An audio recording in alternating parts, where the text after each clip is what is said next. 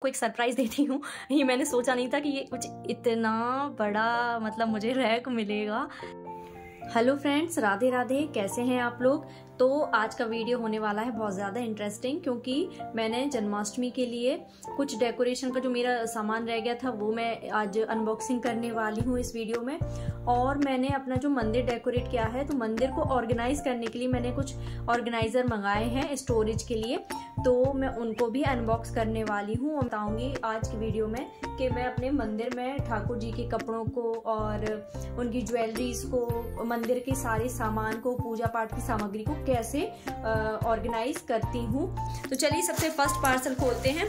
अब मुझे नहीं पता इसमें क्या है। मे बी इसमें कोई डेकोरेशन का सामान है। हाँ मैंने इसको मतलब पार्सल तो ओपन कर लिया था, लेकिन मैंने इसको अभी तक पूरा खोल कर नहीं देखा है कि ये कैसे आए हैं। क्योंकि अब देखिए, जन्माष्टमी आ गई तो जन्माष्टमी में बैकड्रॉप डेकोरेशन के लिए मुझे काफ़ी चीज़ें चाहिए थी। तो ये देखिए, मैंने लोटस हैंगिंग मंगाए हुए हैं एंड बहुत ही ज़्यादा प्रिटी आए हैं, आप ये देख सकते हैं। देखिए, कितने सुंदर हैं। एलवेट का कपड़ा है एंड ये हमें, मुझे लगता है कि ये प्लास्टिक में है कुछ। तो मतलब बहुत ही अच्छे लगे एंड क्वालिटी वाइज मैं इनको फाइव में फाइव नंबर दूँगी क्योंकि मुझे बहुत प्यारे लगे पर्सनली बहुत ही सुंदर लगे। मुझे लग रहा था कि मतलब क्वालिटी यानी कैसी होगी और मुझे ये लग रहा था पहले कि ये शायद वुडन में होंगे बट ये वुडन में तो नहीं है, कपड़े पर ही हैं। और नेक्स्ट वीडियो मैं इनको ज़रूर बनाने वाली हूँ। आप लोग मुझे कमेंट कीजिएगा। अगर मुझे ज़्यादा कमेंट आए तो मैं इन हैंगिंग्स को बनाने का ट्रिक आप लोग को अब सिखाऊँगी, क्योंकि मैंने इसको एक बार देख लिया है तो ये कैसे बनेगा मुझे पता है। तो नेक्स्ट वीडियो में श्योरली ये ज़रूर बनाने वाली हूँ। तो चलिए, अब हम अपना नेक्स्ट पार्सल ओपन कर लेते हैं। तो नेक्स्ट पार्सल हमारा ये हैंगिंग दिया है। ये मैंने पिछली वीडियो में भी आप लोग के साथ शेयर किए हैं। बट मैंने सोचा कि क्यों ना अभी मैं जैसे कि डेकोरेशन और स्टोरेज दोनों की वीडियोस बना रही हूँ तो मैंने सोचा कि इसको आप लोग के साथ इसको दोबारा से शेयर कर देती हूँ। तो ये भी मुझे काफ़ी अच्छे लगे, पसंद आए। मुझे ये मंदिर में अपने डेकोरेट करने थे।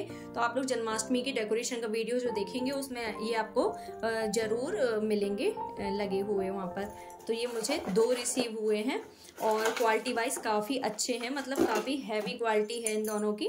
इसमें देखिए गणेश जी बने हुए हैं और ये दिया है और अगर अपन चाहें तो उसमें फ्लावर भी डेकोरेट कर सकते हैं। तो आप लोग कमेंट करके ज़रूर बताइएगा कि आप लोग को इनमें से, मैं जितने भी पार्सल खोलने वाली हूँ उनमें से सबसे बेस्ट प्रोडक्ट कौन सा लगा। तो ये अब हम अपना नेक्स्ट पार्सल खोलते हैं। ये वाला ये वाला पार्सल मेरा पर्सनली फेवरेट है मतलब डेकोरेशन के उससे। मुझे ये बहुत टाइम से चाहिए ही थे। देखिए लोटस हैंगिंग है ये। तो ये थोड़ी लॉन्ग में है। आप देखिए, इनकी भी क्वालिटी काफ़ी अच्छी है। एंड इनको भी मैं अब घर पर बना सकती हूँ। तो ये इसका भी मतलब जो डेकोरेशन के आइटम है क्योंकि अभी गणपति भी आने वाले हैं तो मैं काफ़ी चीज़ें अब डेकोरेशन से रिलेटेड बनाऊँगी। तो मुझे पाँच या छः हैंगिंग मिले हैं। रेट वाइज भी काफ़ी अच्छे हैं। सारी चीज़ें दो ढाई सौ के अंदर हैं। सिर्फ़ ये मेरा जो बड़ा वाला अलमीरा है आ, मतलब रैक है एक तरीके से तो ये सिर्फ़ शायद 450 के अराउंड है। बाकी ये सारी डेकोरेशन की चीज़ें 200 से 250 के बीच में है। तो आप लोग अगर इनको परचेज करना चाहते हैं तो मुझे कमेंट कीजिएगा, मैं आप लोग को लिंक दे दूँगी। चलिए तो हमारा लास्ट पार्सल बचा है। अब जिसको मुझे मतलब खोलने का काफ़ी दिनों से इंतज़ार था बट मैं खोल नहीं पा रही थी, मैं थोड़ी बिज़ी थी। तो अब इसको खोलते हैं और आप ही लोग के सामने इसकी अनबॉक्सिंग करते हैं। एंड देखते हैं ये कैसा मिला है। तो ये देखिए आप, मुझे कुछ इस तरीके से ये मिला हुआ है। अब इसको मुझे अरे अरेंज करना है, कैसे करना है, अब वो मैं आप को, आप ही के लोग के सामने असेंबल करके दिखाऊँगी इसको। तो मतलब क्वालिटी वाइज तो मुझे ठीक ही लग रहा है, बस अब टूटा टूटा वूटा ना हो। तो ये देख लेती हूँ मैं पहले, और फिर मैं आप लोग को इसको असेंबल करना भी इसी में दिखा दूँगी। ये देखिए, इस तरीके से ये काफ़ी बड़े बड़े से इसमें इस तरीके के रैक हैं, और इनको, इनके साथ हमें ये स्टील के इस तरीके के पाइप भी मिले हैं तो मतलब चार, साढ़े चार सौ रुपये में ही काफ़ी अच्छी क्वालिटी में मुझे मिला है। और इसका मतलब मैंने नहीं सोचा था ये इतना बड़ा होगा। तो देखिए, आप काफ़ी बड़ी मतलब इसकी डोलची है। अब मैं इसको अरेंज कर लेती हूँ, फिर आप लोग को दिखाती हूँ इसका फाइनल। मतलब इसको असेंबल करना कोई बहुत बड़ी बात नहीं है, बहुत ही इजी है। तो ये मैं सारे पाइप इसमें निकाल लेती हूँ। और देखिए, सारे इसमें चार तरफ़ इस तरीके से ये सर्कल बने हुए हैं। तो बस हमें इन पाइप को इसी में फंसा देना है और इसके ऊपर ये वाली डोलची को हमें अरेंज कर देना है।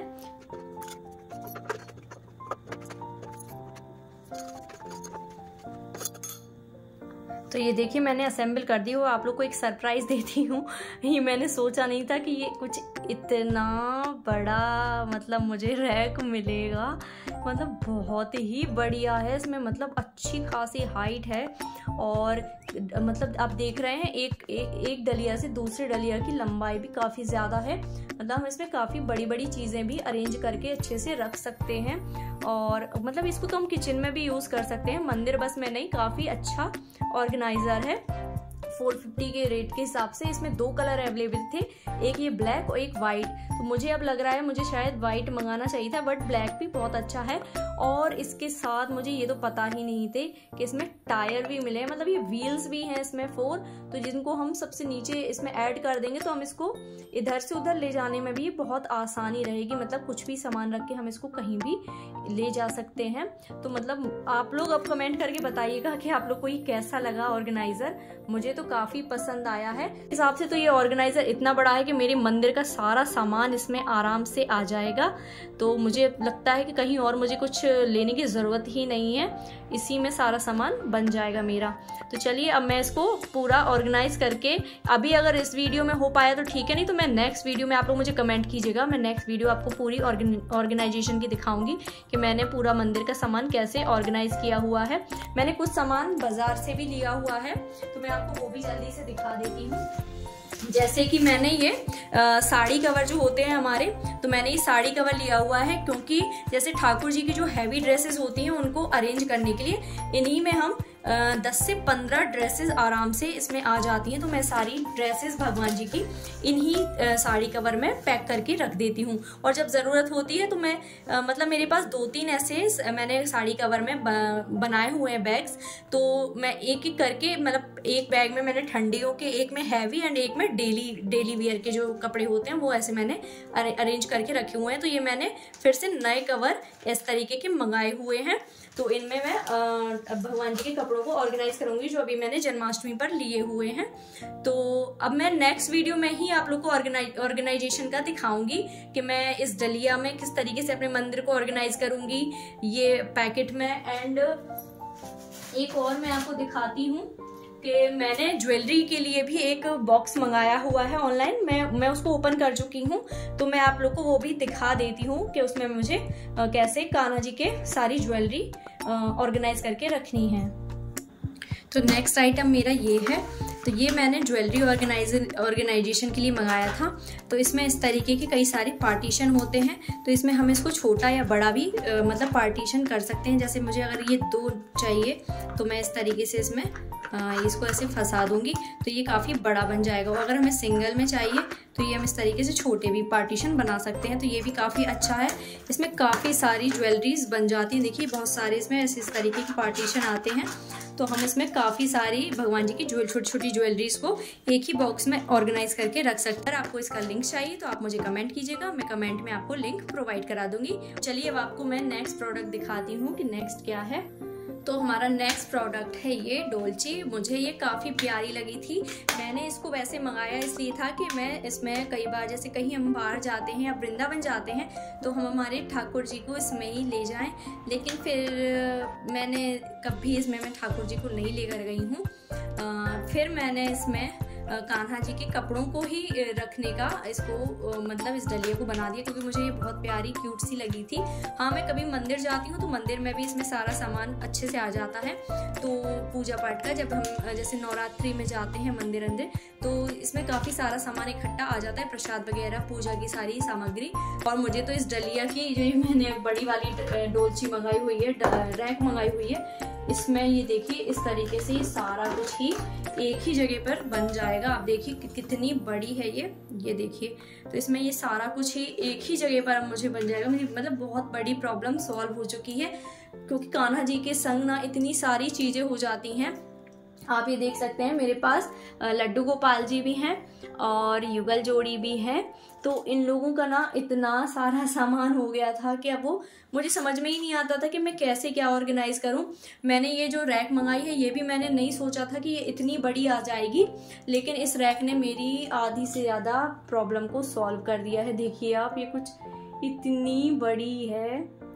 और बहुत अच्छी है रेट वाइज भी बहुत अच्छी है। मैं आप लोग को सजेस्ट करूँगी कि आप ये ज़रूर लें, अगर आपको स्टोरेज की प्रॉब्लम है, आप इसको किचन में भी यूज़ कर सकते हैं बहुत अच्छे से। और आप इसको कपड़े वगैरह भी फोल्ड करके बहुत ही आसानी से इसमें रख सकते हैं। तो अब मेरा मतलब ऑलमोस्ट सारा ही सामान हो चुका है। अगर आप लोग को वीडियो पसंद आया हो तो प्लीज़ वीडियो को लाइक कीजिएगा और कमेंट में ज़रूर बताइएगा कि आप लोग को वीडियो कैसा लगा। और इसी के साथ मिलते हैं नेक्स्ट वीडियो में। तब तक के लिए राधे राधे